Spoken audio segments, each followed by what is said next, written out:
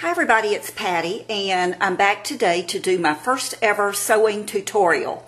And it's not really sewing, although a needle and thread could be involved uh, unless you know how to be creative. But I showed you this little uh, t-shirt scarf uh, that I was wearing, uh, I think yesterday or the day before on my video, and asked if you wanted to see a tutorial on it. And I'm pretty sure almost every single person who commented said yes, you wanted to see the tutorial. So that's what this is. Uh, I need to make a couple of disclaimers. Number one, I've not done one of these tutorials before where I show you how to actually do something like this. So just please forgive me. Um, I'm a beginner.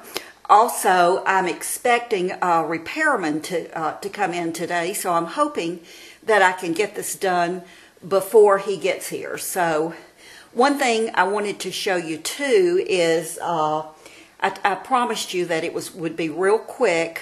Uh, so I have a clock so that we can time it. But I want to show you the, what you're actually going to need uh, to do this.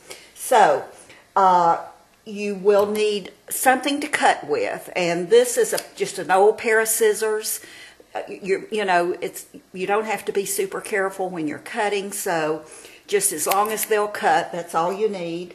Uh, if you have one of these cutting wheels uh, you can use this uh, but if you have one of these I know that you have the self-healing mat and you want to make sure and use the self-healing mat if you have one of these otherwise you're going to ruin the surface that you're working on. Since I know most of you or a lot of you won't have this I'm not going to use this. I'm going to use scissors. I actually use scissors on this one. You may need whoops you may need a needle and thread. Uh, you may need a tape measure you may not. Uh, you probably will need a couple of straight pins. So I'm going to keep the straight pins out and the scissors and the clock. Oh, and of course you'll need some t-shirts.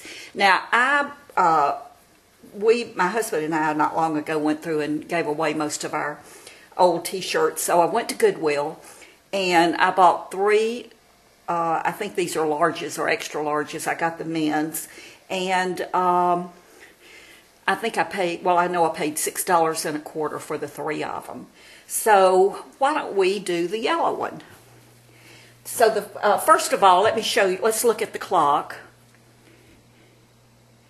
It says it's 11.51 or 12.50 I'm, let, us say this, look at this again. It's 1151, 1151. So, get rid of that. The first thing we're going to do is we need to get the t-shirts uh, laid out flat. And you want to make sure, we're going to be cutting from the bottom of the t-shirt, so make sure that the bottom is uh, edges are together. They're uh, they match, in other words. As close as you can. And then get it as smooth as you can.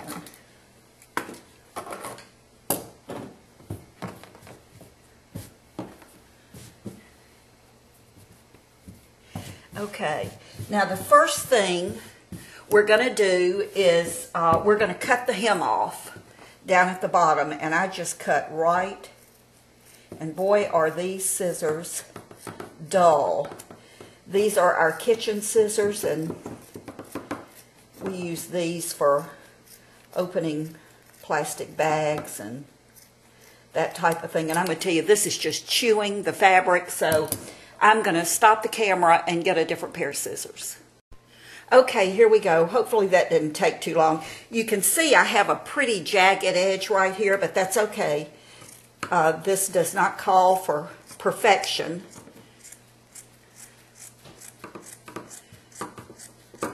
So I've cut the hem off of the shirt. Now, I make mine, uh, and this is where you might want to, if you not, don't know what an inch is, you might want to look at your tape measure, but you, you don't have to be perfect here. So I do about an inch And what I'm going to do now is I'm just going to cut strips all the way across. And again, these scissors are not wonderful either, but don't worry about the jagged edges. You just want to make sure that you don't cut all the way, this cutting across this way. So, so this is what we have, just a loop of fabric. So I'm going to turn the camera off and it is 1154 if you can see that. And I'm going to cut the rest of this shirt all the way up to underneath the armpits and I'll be right back. Okay, I've done them all. I'm up to just underneath uh, the um, arm. So that's as far as I'm going to cut there for these strips. The next thing I'm going to do is I'm just going to take the arm. This happens to be a long sleeve shirt, but you can do it with the short sleeve t-shirt too. I need a, a smaller strip, so I'm just going to cut it off of the sleeve about the same width. And then this has, sleeve had a seam, so I'm going to cut the seam out of it. So this smaller piece we'll use later. And we're finished with that. Now comes the fun part, the magic. You take your strips and open them and then you just pull as hard as you can pull and see what happened? It just folded or curled in on itself. This is really fun to do with another person. One person hold one end and the other person hold the other end. And so this is what we have. So we're going to do every one of these. You know, you could put this around the bedpost and pull them all at one time probably.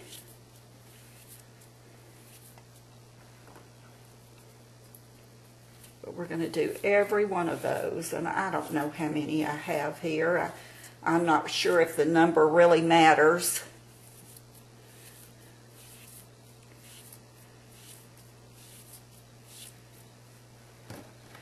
Can you imagine a your daughter or your son, a, a, young boy would probably have fun with this, helping you make it.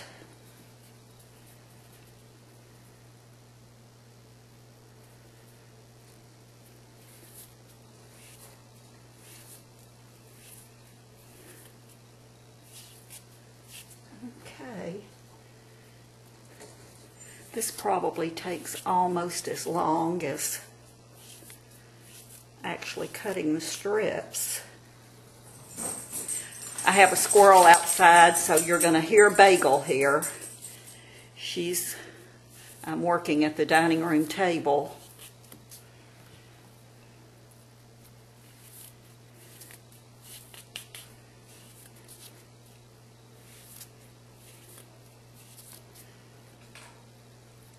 So what are y'all doing today? Are you have you done been constructive at all? Have you done anything? Are you cleaning or cooking something good for dinner maybe? I had to run into town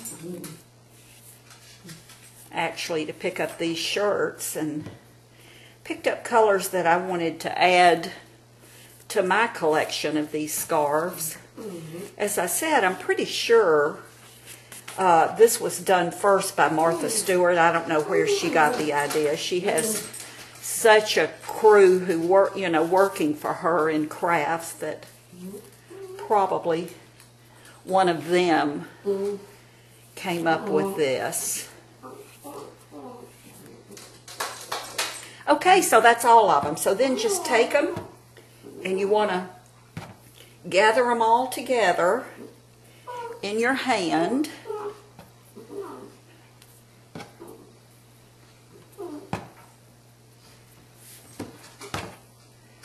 Sort of get them out straight.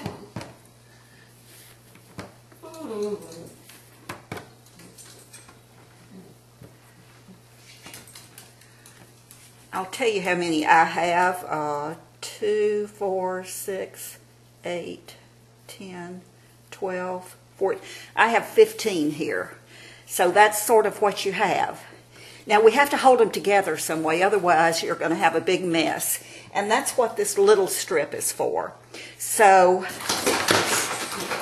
bagel. She's trying her best to get to that squirrel. So take your small strip, and you don't have to use this. You could use a ribbon. You could use anything, twine, uh, anything to wrap around. And you don't want to curl this, but you do want to pull it snug. If you pull it too tight, it will um, it will curl, and we really don't want this to curl. So mainly we're just making uh, connecting everything. And then what I did is I folded under the very end and laid it down and pinned it. Whoops. And then I'm not going to sew this together because you don't have to watch me sew, but just take your needle and thread and just stitch this any way you know how to stitch it. And that will hold this together. Now, my pink one, because it was a men's polo shirt, men's polo shirts have seams on both going down the side where t-shirts don't. So I had to do, I did this actually around the seams on each side. So I have two of these, and you certainly could do that. Uh, or you could just do the one, you know, attach them in the one place. That's up to you. So that's it. Let's look at the clock. It's 12.08. Can you, maybe you can see it. Uh, I think we started at 11.51, and I will tell you, of course, we know I had to go get a sharp pair of scissors, and then also, when I turned the camera off, uh, I did not have it plugged in and my battery died, so I had to go get my battery, uh, the cord to plug into my camera uh, so that I could film. So that took probably a minute or so for me to do that. So it was real close to 10 minutes. And you're just going to have a ball with it. What I want you to do is let me know, leave me comments and let me know that you've made one or two or however many and what you think about it. And, uh, you know, tell me how easy you thought it was because truly it is so simple and it's so cute. You could even put a really cute decorative pin on this. You could just, I mean, just use your imagination as to how you can play with this and do it. So good luck making yours. Thanks for subscribing. Thanks for commenting. And I will see you next time. Bye-bye.